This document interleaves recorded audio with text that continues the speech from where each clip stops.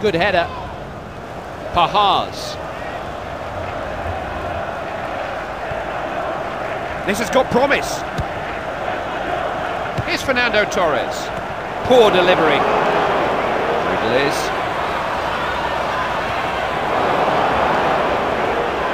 Laizans. It's got in! Well, if I'm being honest, to score from there, you don't just need ability, you need a bit of luck as well. I think he's got both. He can score with either foot, it just doesn't matter to him.